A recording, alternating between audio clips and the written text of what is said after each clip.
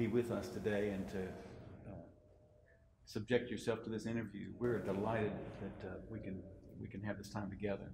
My honor. Yes, your uh, preaching has been such an influence on so many lives. Y- your preaching was uh, decisive in helping me discern my own call, and it was particularly your practice of expository preaching that has uh, that meant so much to me and has meant so much to so many. And I just wanted to talk with you about that uh, today, especially. Uh, and uh, you've been called the best expository preacher in America in our time. And I'm curious, and I think many would be curious, just to know how did this how did this way of preaching, expo- expository preaching, become so important to you? It, it all started with how I became a believer, because uh, I went uh, as a young student to uh, Cal Berkeley as a freshman, and growing up in a in, a very warm and supportive family, but uh, my, my our, our mother was an Episcopalian and was devout. My dad was then really nothing. He had been in a Christian Science background, but he was nothing then, and so we were not really. Uh, it was not a part of our lives, really. And then I come to Cal, and my first two years, I I don't particularly go to church or anything that I can remember. And then in the middle of my sophomore year, uh, a man who became a dear friend, Arba Hudgens, was uh, in, in a work group with me at Barrington Hall, which was a, a male dorm at Cal. And he said, We have a little Bible study group. There's a little group of us, and they were all guys. And, and I knew who they were because it was a, a, a large hall, but I, I knew who they were. And they said, uh, Why don't you come? So I, I went. And they, they, they're just sort of inching their way through New Testament books. And the first, the first time I went, I had to look on because I didn't have my, I didn't bring a Bible to Cal with me. So that week I went out and bought a, a I make a joke about this. I went out to the Sather Gate bookstore and bought a Bible that, that week. And for one dollar extra, I got my name on it. I still have that Bible with the little name put on, but it was the King James version, which I'm glad I got because I love the King James. But I went to the Bible study group the next week, and I had my, I said I had a Bible now, and they said, "Oh yeah, that's nice." So we're reading the RSV because they were all looking at the RSV. So then I had to go out and get another Bible that week, a paperback back that time. To make a long story short, one day I just said to myself, I, I think I would like to be a pastor like our college pastor was. Carl Thomas was Carl, college pastor at the church. I, would like to do that because I'm enjoying this so much. And I went and talked to Dr. Munger, and he said, Well, you have to go to seminary. So I applied, and I applied to Princeton Seminary. And I went really almost as a, uh, a, a, really raw recruit in terms of knowing anything really about theology or about the historic uh, great verities. While I was there, I began to yearn for uh, the same sort of small group Bible study male Bible study group I'd had in Berkeley. And I'll never forget, Glenn stood up in this rowdy place and he shouted out, Hey, you guys, this guy is from the seminary and he's uh, said he'd like to lead us in a Bible study group. Do you want to do that? And they said, Okay. And so that began what was for me in my three years at Princeton. That was the beginning of my career at Princeton. Uh, as a matter of fact, Princeton Seminary forgave me the need to have field ed because I had five of these small Bible groups, study groups uh, at Princeton and one at Rutgers. And, the, and Princeton knew about it. If I could get somebody to look at the text, sooner or later, the text would always point them to its setting. The Old Testament, by anticipation, points to Jesus Christ, the fulfillment. The New Testament, by witness, points to Jesus Christ. He wins their respect. And, the, and I concluded at that point, while I was a student at Princeton, that the best ethics would come when you're focused on Jesus Christ, who the Old Testament points to. That's far better than looking at grim passages to find guidance in the Old Testament that need to be fulfilled. And they were fulfilled by Christ. And I, I, had, I came up with a definition of exposition. It's enabling a text to make its own point. With and then that that's very important. You've got to let a text make its own point within its setting. Then that's the context. And then, as a uh, because it points to Christ always, then it, you have a right to say within its gospel fulfillment setting, let it make its point.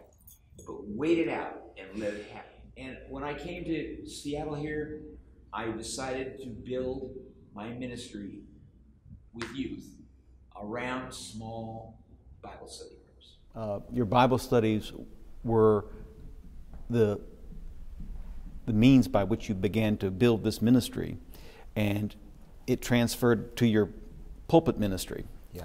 C.S. Lewis is one of the best lines on Bible study. Tell me what the hard words mean. And you've done more for me than a thousand commentaries.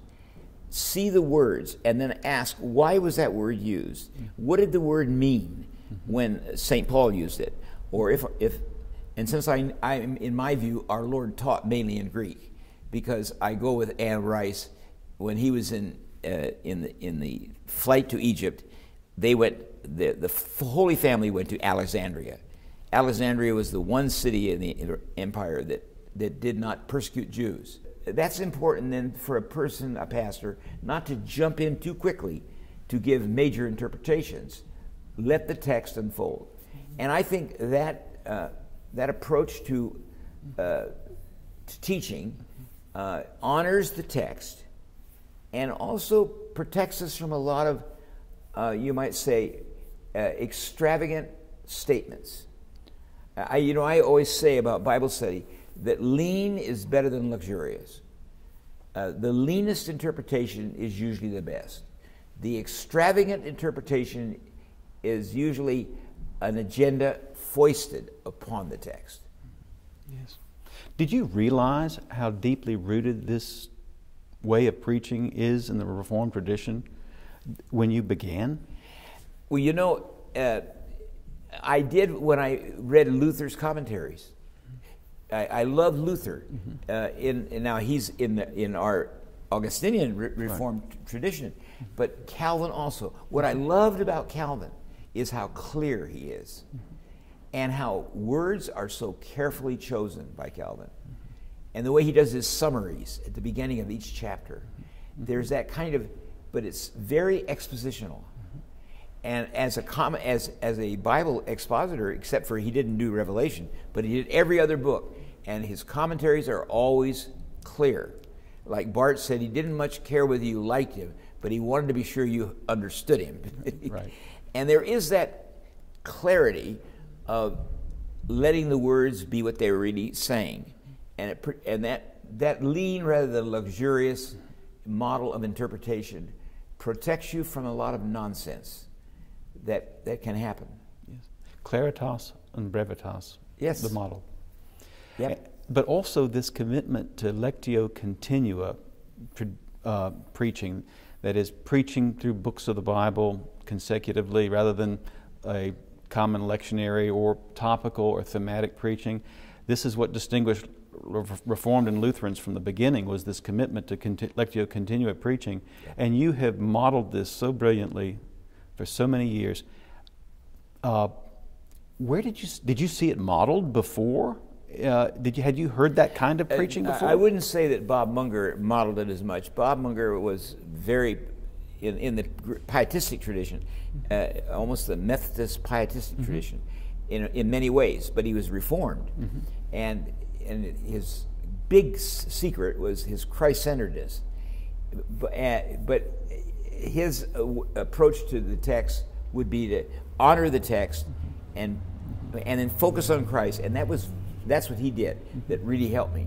So I wouldn't say I, but John Mackay was expositional, yes. and I always credit John Mackay as a bigger influence, uh, and almost Helmut Thielicke, because Thielicke always, and I love this about Thielicke he always tries to make three observations or four observations.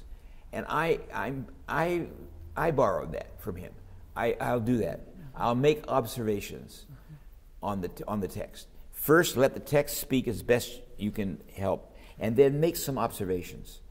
Uh, and then the observations, like in, in John Mackay, the observations ended up with fireworks often in his sermons. That's where there would be a lot of fireworks.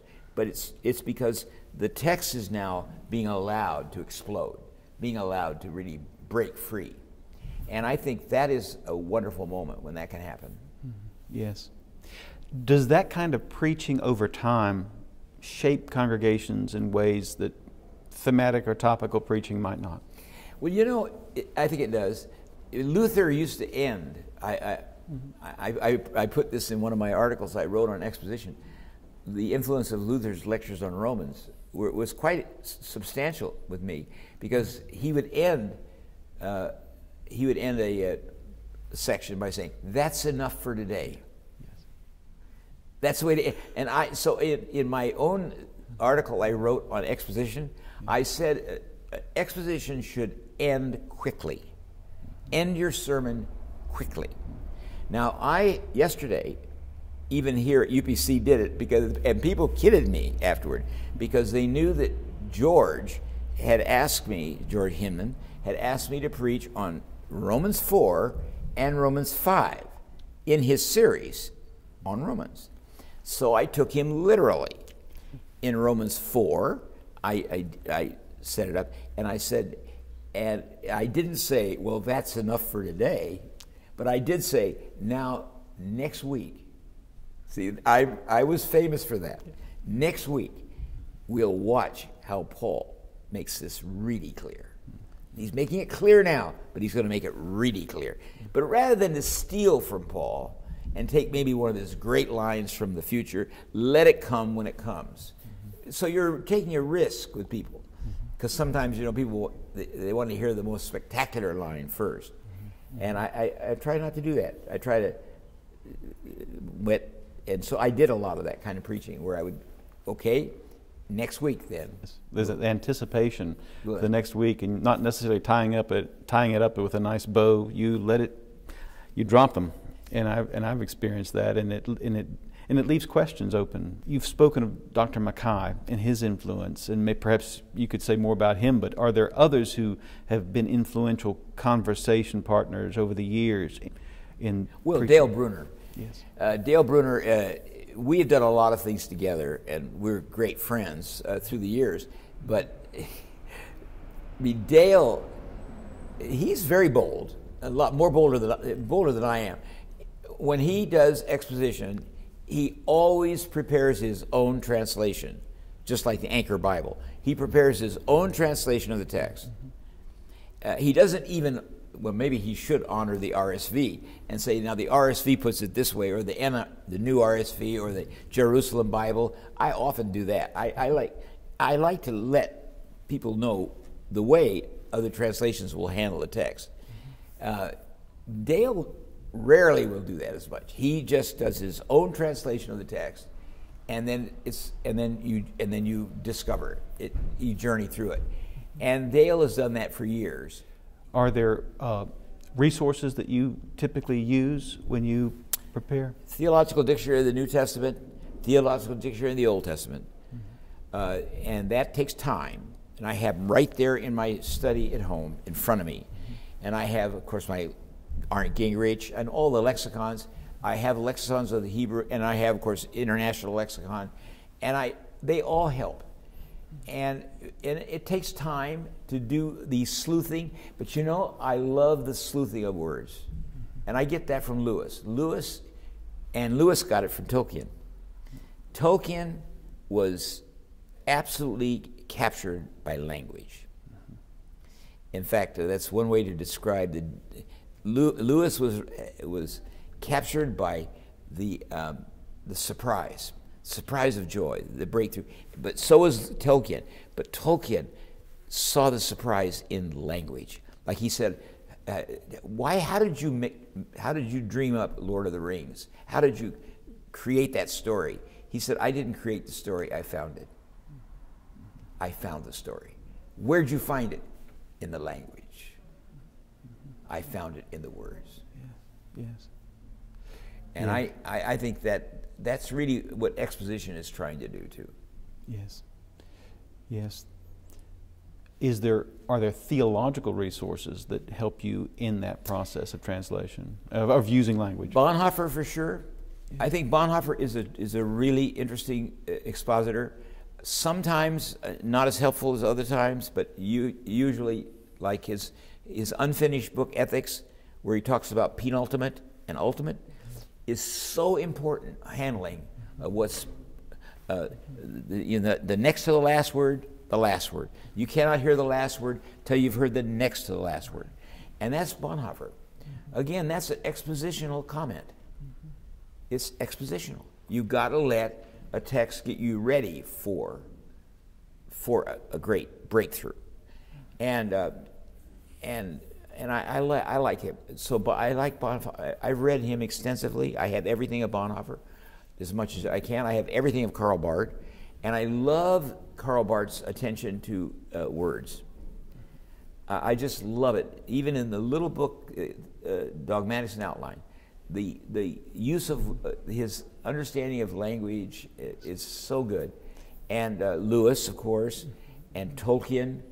I love Tolkien's brilliant essay on fairy tales, which is in the letters to Charles Williams. That, that's the best part of that book. Better than Dorothy Sayers' story uh, on the story, better than Lewis. But Tolkien got it. That sudden turn of joy and his expl- explanation of the sudden turn of joy. And really, is he's sharing his eucatastrophe argument that won Lewis to Christ. It was that argument from Tolkien.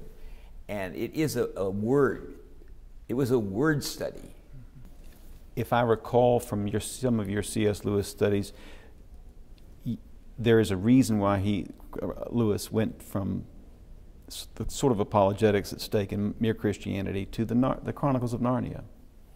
There's the narrative that, uh, for which the apologetics might that don't make sense apart from a, a grander narrative that he wanted to tell. Is that something that you uh, if I may be mistaken in some of the things that you've said in the past about Lewis, but no, I, I love this about Lewis. Uh, in 1939, uh, he broke his silence because uh, he blundered in Pilgrim's Regress and lost a lot of friends in Oxford. In fact, that's the real reason he was defeated for professorship with three votes at Oxford, and uh, they they were they were uh, offended the fact that he wrote this uh, and, and he mm-hmm. was so careless about what he said about Sigmund Freud. That's why I love the play Freud's Last Tape, that uh, last session mm-hmm. about Lewis. It's wonderful because Lewis did make fun of Freud and, and he needed to make peace with Freud. That's another story. But anyway, uh, Lewis wrote Problem of Pain. And uh, James Welch BBC read Problem of Pain. He didn't know anything about C.S. Lewis, but he read Problem of Pain and he said it changed his life. And then James Welch is the head of BBC Religious Broadcasting. He's the one that got Dorothy Sayers to do uh, Man Born to Be King, and then he got Lewis. See, Dorothy Sayers first. She uh, did her, her, episodes starting in December of, of 41 and ended the beginning of 42. Lewis starts in 42. And the, the heart of the, the, it's a grim time. And, uh, and James Welch writes a letter to him and says, I've read your book, The Problem of Pain, and it's changed my life. And I think England needs this now. We're in pain. And would you be willing to give some broadcast talks? Originally, just four. Well, you've mentioned Bonhoeffer in, uh, in a moment ago, and there's this line uh, in his lectures on preaching, which I uh, probably discovered first from you, uh, these lectures uh, in No Rusty Swords. And I've heard you practice this and, and perhaps have heard it in different ways from you, but he has this line, Bonhoeffer, at one point. He says, The source of the preached word is not the pious Christian experience or consciousness of the preacher, nor the need of the hour of the congregation, nor the desire to improve and influence others. All of these things quickly collapse and lead to resignation. These motivations and forces are not enough. The only valid source of the sermon is the commission of Christ to proclaim the gospel. The contemporary situation is not sufficient to determine the content of the sermon. The dealings of God with men as they are testified in, in the Bible, as they are testified to in the Bible, and made known through the teachings of the church is sufficient. Hmm. That, it, oh yes, of course, I agree with this too. If you if you have too much of an agenda, uh, it could be a godly agenda. Uh, and I, I've said this to a lot of young pastors. Don't throw into the end of the sermon uh, a lot of rhetoric that is all true, but it's not being explained. It's being uh, almost like a, a, mantra. You're throwing it in. Uh, we, we want to go to the foot of the cross now. The ground is level there, and uh, the blood of Christ will cleanse us. And now, notice all those amazing words that are being uh, used but not described, not explained, not understood. Don't do that. When you get to the end of a name discovery point that's been made in the text, then stop. Mm-hmm. You know, stop earlier, and you know, and but don't feel that you have to say now what we're going through in in the world today. I don't know. Uh, I even did you know I, I did get published by uh, Will Willimon at Duke. He wanted me to. Uh, he said, "What sermon did you preach at University Presbyterian Church the Sunday after 9/11?" And so I sent it to him, and then they did you did you see that book? It's called After 9/11. He published. Uh, there's a lot of different, very famous people I think Henry Sloane Coffin, a lot of people, and then me. But mine is really one of the only ones I just stuck to my text. And then we prayed. Uh, and I, and I, I often treated great na- national tragedies that way, that in the pastoral prayer, we're going to pray about it. But the sermon, we're going to stick with the text that we were in and let it speak. And then hope that the by the Holy Spirit's uh, uh, is the one that makes things relevant anyway. That it will be relevant. But it just so happened that the the text that I had that I was in the midst of turned out to be a great text for that Sunday, according to Will Willimon. He put it in there. Yes, I stuck to the, the Lectio Continua text as well. And I, and I learned this from you, but also from Barth and Bonhoeffer that the text somehow absorbs the world.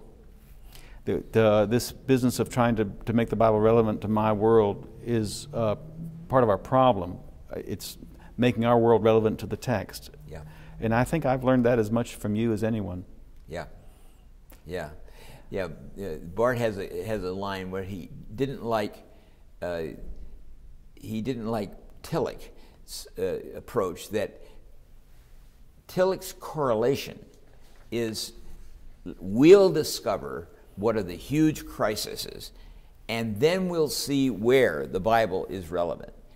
Uh, but then Barth had that great one one liner. It's in, I think it's in, in the letters to Bultmann that, that is probably. Then that means that we get to ask the questions. What if God can ask questions? Let the text ask the questions. And, uh, and it does, it will. Yes. yes. Many congregations, uh, I suppose because they've had experienced expository preaching in ways that are uh, that have been boring or uh, uh, or poorly executed. But many congregations don't would would would be a little wary of having uh, someone who said, I, you know, I would like to to do expository preaching. Uh, uh, what are some of the what advice would you give to a congregation that that that well let me let me go back and rephrase this I, I'm looking at my notes and trying to make sense of this many congregations do not want or think that they do not want this sort of preaching perhaps because it's been poorly executed or performed in the past but What advice would you give to a congregation that wants expository preaching? Are there conditions for the possibility of mm-hmm. this in a congregation? I, I, would say, and I've said this to a lot of young young pastors, uh, model it without telling them what you're doing. Uh, model, and one way you can model it is offer a special class that that sounds very interesting to people, and they are willing to, and maybe it's over some something that is very currently, uh, you know, on their mind. And, and in that, then, find opportunities to let a text really uh, speak to uh, speak in the midst of that uh, in, in, in that study. Earl, your, your preaching consistently reflects what Karl Barth calls the joy of discovery. This joy may be, uh, I've experienced it as very contagious, uh, but I'm not sure it can be taught. Uh, in a classroom. What do you think uh, about how how do you keep these uh, sermons so uh, uh, from being so boring? Can can you say something about the mystery of preaching? Mm-hmm.